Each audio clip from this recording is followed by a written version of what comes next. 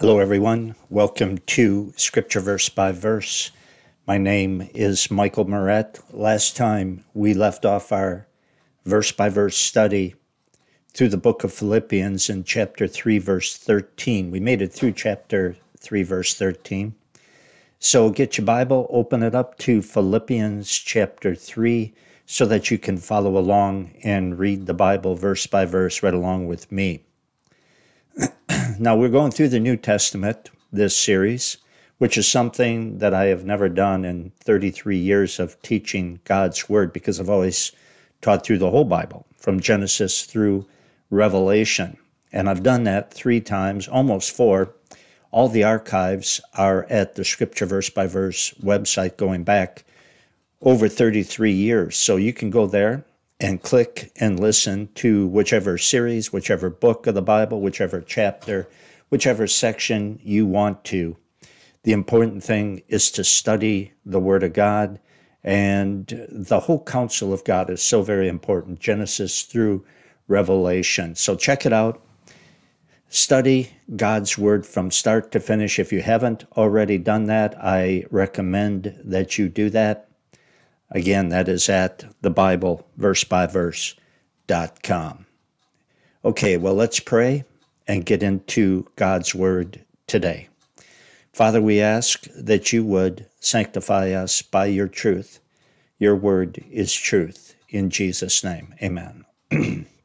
okay, I want to begin reading in Philippians chapter 3, verse 10, where the Apostle Paul says that I may know him talking about Christ. That was the heartfelt desire of the Apostle Paul to know Jesus better. And as I said last time, that is the heartfelt desire of every true Christian. Everyone who's saved has this great, overwhelming desire to know Jesus better. That I may know him and the power of his resurrection and the fellowship of his sufferings, being made conformable unto his death. So, you know, if you know Jesus and you live for Jesus and you're enjoying fellowship with him, then you can also count on the fact that you're going to suffer for him. Because as I mentioned last time, it's a package deal. All who live godly lives in Christ Jesus will suffer persecution, the Bible says. Verse 11 If by any means I might attain unto the resurrection of the dead. He's not saying he's got to work, you know, very hard and do what he can. He's not sure what he's going to do, but somehow, some way, he's got to pull it off in order to get to that resurrection of the dead. No.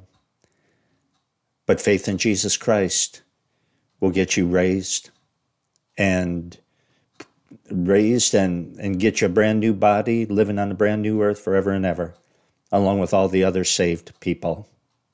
It's faith in Jesus. but your faith has to persevere.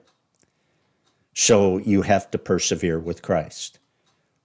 Salvation salvation is guaranteed to those whose faith endures to the end. Unconditional eternal security is an unscriptural lie from Satan. It is being taught today. That's why people re- repeat the sinner's prayer and they never even repent. Or maybe they walk with the Lord for a little while and they turn away, but they've been told that they're saved unconditionally. They prayed that sinner's prayer. They're good to go. Nothing, nothing matters anymore. As some say, you can even become an atheist. Doesn't matter. You're still saved. It's a horrible lie from hell.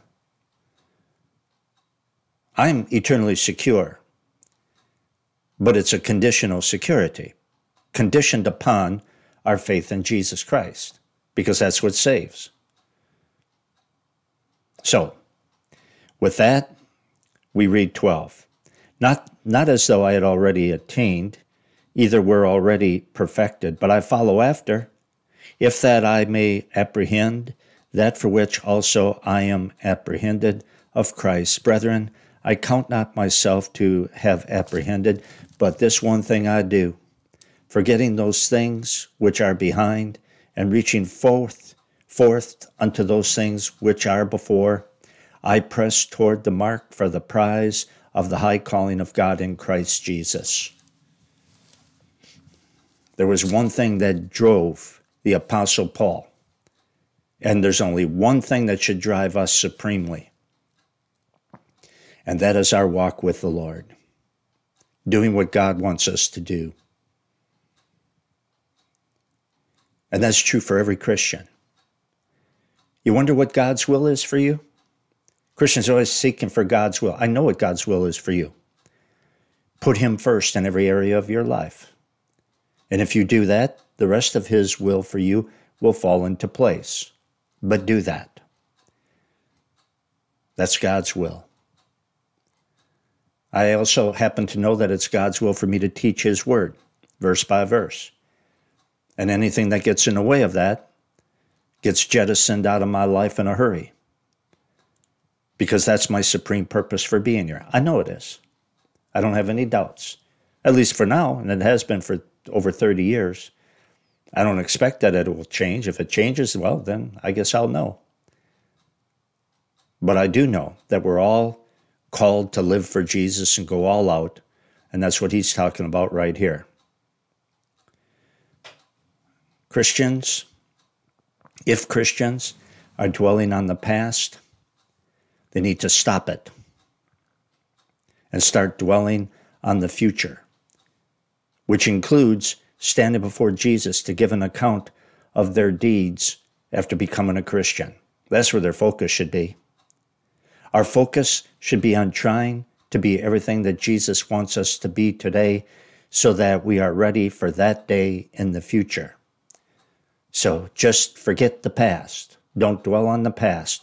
What is done is done. The bad things you have done, they're done. You can't change it. Maybe you're reaping the consequences of that. You can't change it. It is what it is. Confess your sins, move on. Get a fresh start with God. If you sin, repent, confess, get it wiped off your record, and start fresh. If somebody has wronged you in the past and who has not been wronged, don't dwell on it. Leave it be. Pray for the person who did it. Carry on with your life. 15. Let us, therefore, as many as be perfect, be thus minded. And if in anything ye be otherwise minded, God shall reveal even this unto you. You know, if you don't get certain things, if you don't understand, I should say, certain things about the Bible, if you don't understand certain things about God and Jesus, if you don't get certain things that more mature Christians perhaps do get, don't worry about it. Just keep walking with the Lord. He'll show you what He wants you to know. It'll eventually happen. God will eventually make truths clear to people if they have a heart for Christ and they stay close to Him. Just be patient with others, be patient with yourself, be patient with God, and keep living for Him. Verse 16 Nevertheless, as to that which we have already attained, let us walk by the same rule, let us mind the same thing. Don't worry about what you don't know. Don't get all shook up about what you don't know. Focus on living by faith. Focus by li- focus on living by the truth that you do know. And God will give you more truth in the process. Live up to the truth that you know, and God will give you more truth as you go along a big part, and a, a big part of, of growing in our knowledge of God includes living for God today, right where we are. Living for Him right where we are, living up to the truth that we know is truth, confessing when we fail. That's a, that plays a huge part in us growing in our knowledge of God even more. He's not going to give you more knowledge of Him if you don't live up to the truth that you already know. If you disregard that, if you play fast and loose with it and you really don't care, you don't confess, then you're going to regress. You're not going to progress in your walk with the Lord. And that's a dangerous place to be in because you could regress out to the all the way to the point where you lose your faith. 17 Brethren, be followers together of me, and mark them who walk, even as ye have us for an example. So, to be an effective spiritual leader, you have to live out the message that God teaches. You have to live it out.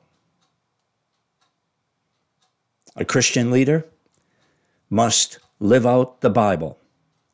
And part of living out the Bible is confessing when you fail and not pretending that you don't fail. I'm not talking about airing your dirty laundry in front of everybody. That's a modern evangelical technique that makes me sick.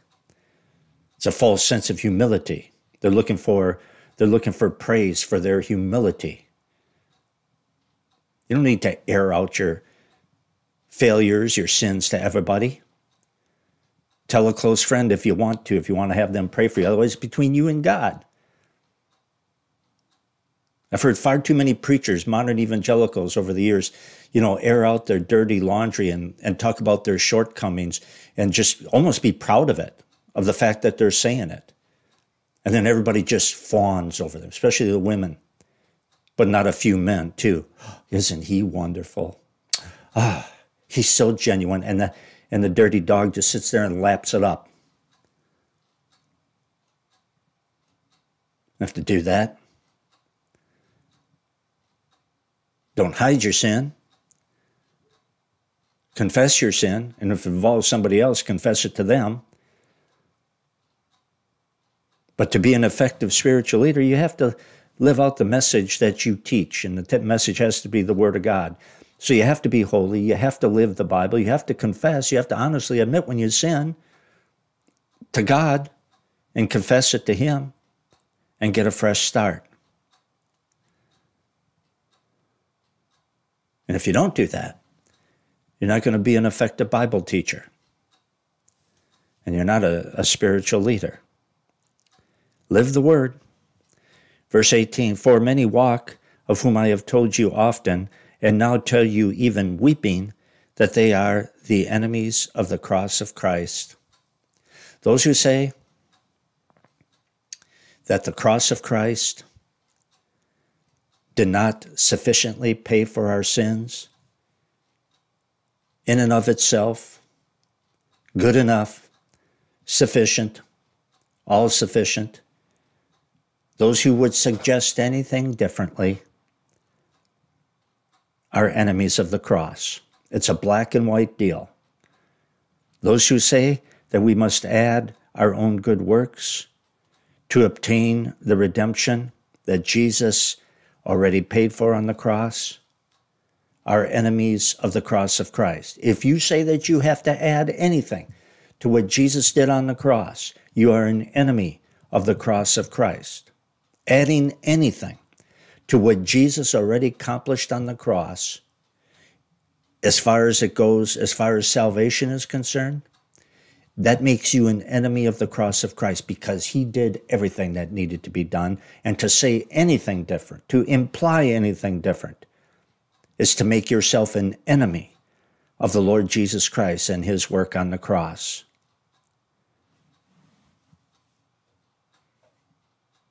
Christians who insist on being self centered instead of Christ centered and other centered are also enemies of the cross of Christ. The cross needs to be front and center. Jesus needs to be front and center. Those who refuse to die to self and pick up their cross and carry it daily, but instead live for themselves, are living as enemies of the cross of Christ as well. We're talking about total dedication, which is what Jesus deserves. We're talking about exalting the cross and the finished work of Christ. We're talking about living for Jesus as a result of all the good that he accomplished for us on that cross and to and to fail to do any of those things especially to fail to do it purposely and then not repent and not confess makes one an enemy of the cross of Christ.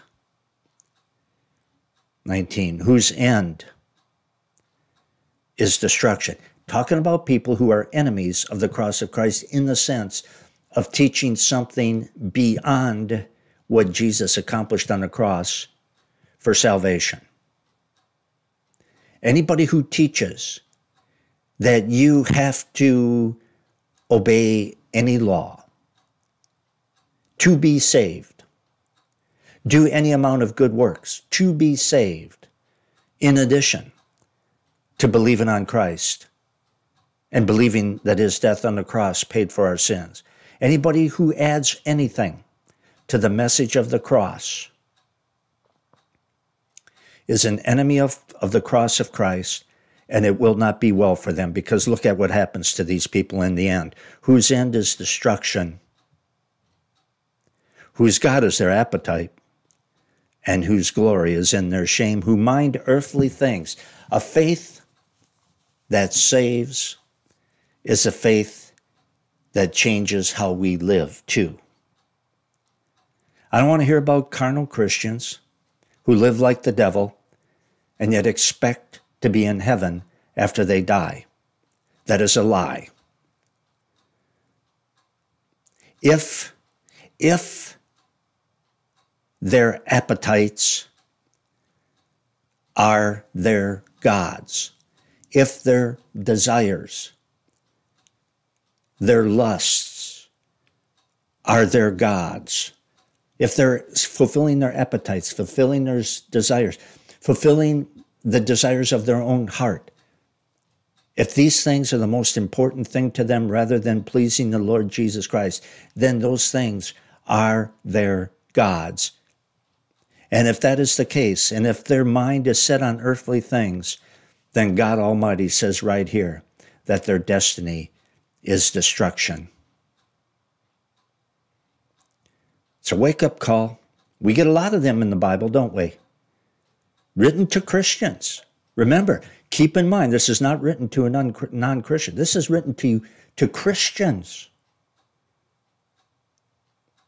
If, you if your appetites and your desires and your lusts and your sins are your gods, if they're more important to you than Almighty God and pleasing Him, then you are doomed to destruction at this point. You stand condemned. Which is why Jesus said, Don't fear those who can only destroy the body. Fear him who has the power to destroy both body and soul in hell. Jesus warned about the broad road that leads to destruction and the narrow road that leads to life. So if your mind is on earthly things instead of on Christ, that's strong evidence that you're on that wide road along with everybody else who doesn't care about Jesus. You're on that wide road to hell. 20. For our citizenship, talking about Christians, is in heaven, from which also we look for the Savior, the Lord Jesus Christ. True Christians are citizens of heaven. I've got to tell you, I was talking to somebody about this just last night. Actually, we were watching the Super Bowl. And all the talk before the Super Bowl, all the halftime junk, so many of the commercials. Just, I, I finally I was exasperated and I and I looked at somebody and I said, "You know what? I am so far removed from this world and the things that the people of this world, the unsaved people of this world think are so important and so neat. I am so far removed from that. And the older I get, the less at home I feel in this world. I'm telling you, from the moment I got saved, I started having a different outlook on this world but it just keeps growing and growing and growing where I really do feel, as the Bible says we are, I feel like a stranger and a pilgrim in this world. And I'm not in any hurry to check out because I, have been asking God to let me live to 90 so I can so I can keep preaching his word for many more years. But when that day comes, I'm not going to regret it. I'll be happy. Just get me out of here. Because I, if God lets me live that long, I, I suspect it's going to be a whole lot worse than what it is right now. But I just feel so out of place in this world. The entertainment that it that it offers doesn't entertain me. The humor that it provides doesn't humor me. I find I find the vast majority of it all disgusting and sinful, dishonoring to God. I feel like I've taken a shower in manure when I watch some of the stuff. Or if I'm watching a game and, and some of the commercials or, you know, some of the promos for different specials or TV shows come on, I feel like I've I feel, I feel like I've been showered in manure.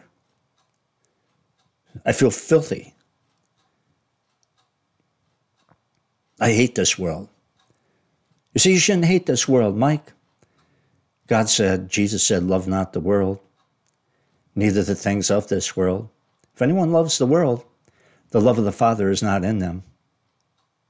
A faith that changes your destiny, changes how you live. So I say, Christians, and the reason a reason that's the case, one of the reasons is true Christians are citizens of heaven. And that's why if we are saved, then we live with eternity in mind. If I'm an American citizen living in Iran, and war breaks out between Iran and America, I guarantee you that I'm polling for the United States of America. I may be living in Iran, but I'm polling for the United States of America to win. And Christians may be living on earth, but we are citizens of heaven. And that's why we pull for God, not for the devil. That's why we pull for God, not for this world when it sets itself up against God. If we're saved, we have a heart for God. And it's not a problem to, as Colossians chapter 3 says, set your mind on things above, not on things of the earth. Gladly. Gladly. It's just that it's kind of hard sometimes because you're inundated with so much trash in this world. That's why that's why it's so important for us to study the Word of God every single day without fail. Verse 20 and 21. For our citizenship is in heaven, from which also we look for the Savior, the Lord Jesus Christ, who shall change our lowly body, that it may be fashioned like his glorious body, according to the working by which he is able even to subdue all things unto himself. This is such this is such great news. Our pre- our present body, excuse me, our present body will be transformed into a glorious body like Jesus had after he was raised from the dead. So, you died today. When Jesus returns, your body is going to be raised physically. You're going to once again be in that body that you are in right now. Only it's going to be fixed up. It's going to be new. It's going to be improved. Never sick, never tired, never an ache, never a pain, and never to die. We have much to look forward to as Christians because of what Jesus did for us on the cross. Any Christian who isn't going full blast for the Lord Jesus Christ and doesn't care that they're not going full blast for the Lord Jesus Christ is not a real Christian. Or they're slipping away real quick and they've lost sight of what Jesus has done for them. And that, my friends, is a very slippery slope to hell. And if you find yourself a lot more lukewarm than what you were when you first got saved, you better put the brakes on because it's not going to get better. It's going to get worse and you're putting your soul in danger if you ever lose your faith. Any Christian who's not on fire for the Lord Jesus Christ, doesn't love the Lord Jesus Christ, has lost sight of what Jesus has done for them, He paid for our sins. He saved us from hell. He's going to rebuild these bodies of ours and turn them into something that will enjoy forever and ever on the new earth, which He's also going to make. Man, if that doesn't move you to want to serve Jesus Christ and live for Him, then I don't know. Then you better check to see if you're saved because I wouldn't bet on it. Verse 21 again. Who shall change our lowly body? It's talking about Jesus. That it may be fashioned like his glorious body. Isn't that good news? That's what I was just talking about. Our, our bodies are going to be just like that glorious body that Jesus was raised in. I can't help it. I got to keep talking about it. I keep thinking about it. It's great. And the ramifications of it, they're beyond our ability to grasp right now according to the working by which he is able to able even to subdue all things unto himself. Jesus is God, you know. Jesus is going to bring everything under his control.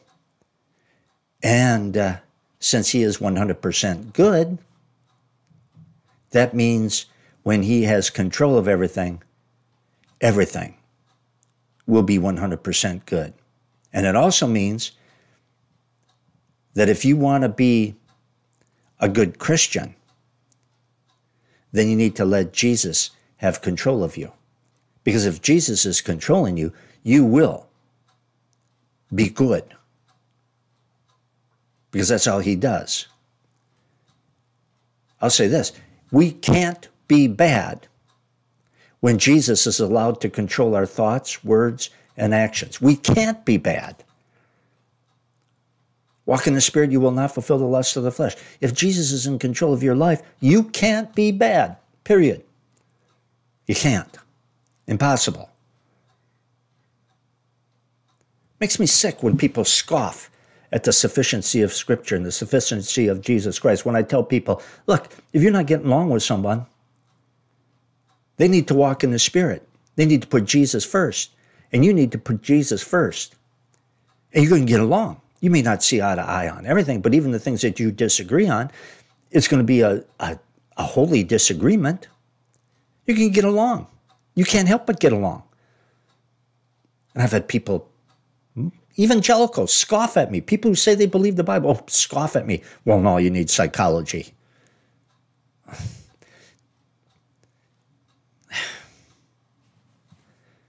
Just forget it.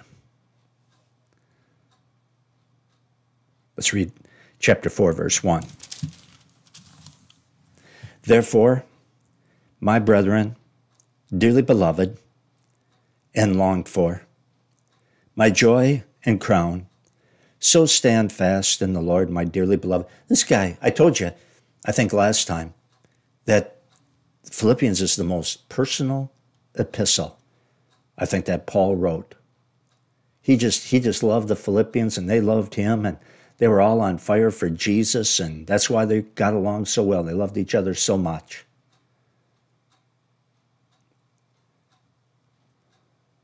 So he says, Therefore, my brethren, dearly beloved and longed for, my joy and crowned, so stand fast in the Lord, my dearly beloved. Paul did not twist anyone's arm to get them to live for Jesus. He wouldn't do that. He wouldn't shame Jesus by doing something like that. And that is a shame. That's a terrible thing to do to Jesus when overbearing pastors try to manipulate Christians into doing what they want, want those people to do and calling it living for Jesus, legalistic type preachers. That's a, that's a dirty, rotten thing to do to Jesus. You teach them about Jesus. You teach them the Word of God so that they fall in love with Jesus more and more. And then they're going to do what Jesus wants them to do out of love for Him. That's the kind of thing that glorifies God. Paul didn't twist anyone's arm to get them to live for Jesus. He didn't come up with a list of holiness rules either. Oh man, I'm out of time. Study with me at the BibleVerseByVerse.com. That's the BibleVerseByVerse.com. Click the donate button and prayerfully give us the Lord may lead And until next time, so long, everyone.